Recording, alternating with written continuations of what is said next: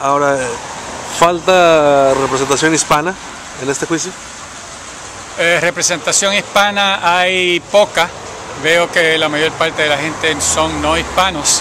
Este, solamente está la, licenciada Limón y, está este, algunos de los reporteros. Pero aparte de eso no veo el jurado. más ninguna. En el, jurado, el jurado, es, completamente blanco. El jurado este, no identifiqué a nadie como latino.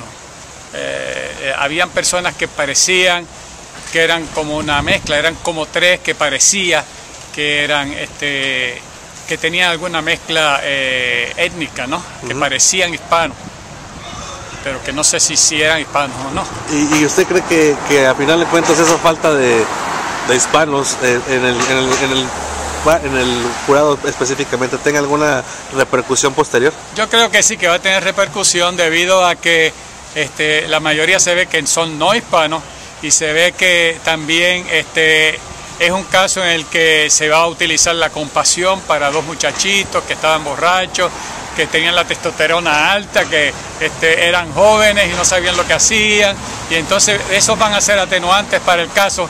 Yo creo que el caso no va a llegar para este, la prisión por vida. Yo creo que eh, le van a dar un, cargo menor, pero eh, definitivamente mayor del cargo que recibieron en el primer juicio.